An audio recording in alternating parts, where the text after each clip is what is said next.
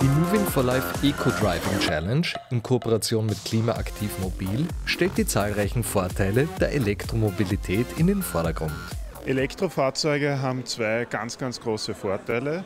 Das eine ist einmal, dass sie wesentlich effizienter sind als herkömmliche Benzin- und Dieselfahrzeuge, um den Faktor 3 auf jeden Fall effizienter. Dazu kommt aber noch, dass wir bei den Elektrofahrzeugen Energie aus erneuerbaren Energieträgern verwenden können, sprich aus heimischer Wasserkraft, Photovoltaik, Biomasse und äh, dergleichen.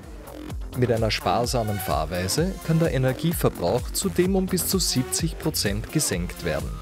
Ich würde sagen, dass äh, die Elektromobilität seine Kinderschuhe mal ausgezogen hat und die E-Mobilität oder die E-Fahrzeuge, die jetzt am Markt sind, Marktreife erreicht haben. Es ist so, dass wir in Österreich immer schon in Richtung Grün und grüne Mobilität waren. Und hier ist jetzt der nächste Schritt. Wir müssen ganz einfach für unsere Umwelt was tun. Wir bieten beispielsweise bei Renault Fahrzeuge an, die alltagstauglich sind. Das heißt, unsere Fahrzeuge bieten den Alltagskomfort an, wie bei jedem anderen Fahrzeug und auch die Sicherheit.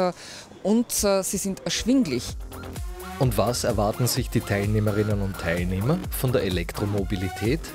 Dass es für die Umwelt einfach besser ist. Ich meine, es muss natürlich noch ein bisschen entwickelt werden, dass die Autos schneller werden, eine größere Reichweite haben. Jetzt fährt gerade einer weg. Das ist natürlich auch ein Vorteil, dass es sehr leise ist. Ich finde natürlich den Umweltgedanken, ähm, der steht an erster Stelle für mich. Und äh, ja, ich bin einfach gespannt, sozusagen, was ist der Unterschied im, beim Fahren? Merkt man einen oder nicht? Und auch das Fahrgefühl lässt keine Fragen offen. Dieses ansatzlose äh, Gas geben und dieses, diese, diese Kompression, die dich dann doch sehr überrascht. Weil da gibt es ja natürlich, äh, das ist ein stufenloser Antrieb, da druckt es in die Polstern eine. Und äh, man denkt sich, okay, ich höre zwar nichts, aber ich fahre schon. Ja? Also es ist wirklich beeindruckend. Andere wiederum zeigen sich von der Technik und den technischen Möglichkeiten der Fahrzeuge begeistert. Zum einen einmal interessiert mich Elektromobilität, weil ich mich für technische Neuerungen generell interessiere, weil ich gern nach vorne denke und fasziniert davon bin, was Forschung möglich macht. Und dann gibt es einen ganz praktischen Grund auch noch. Ich habe zwei Kinder und hätte gern, dass die in einer halbwegs intakten Umwelt aufwachsen.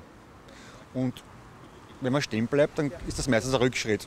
Also um halbwegs was zu erhalten, muss man nach vorne schauen. Aber auch diesseits der Gehsteigkante wird die Elektromobilität immer beliebter und nützlicher. Es ist unterschiedlich.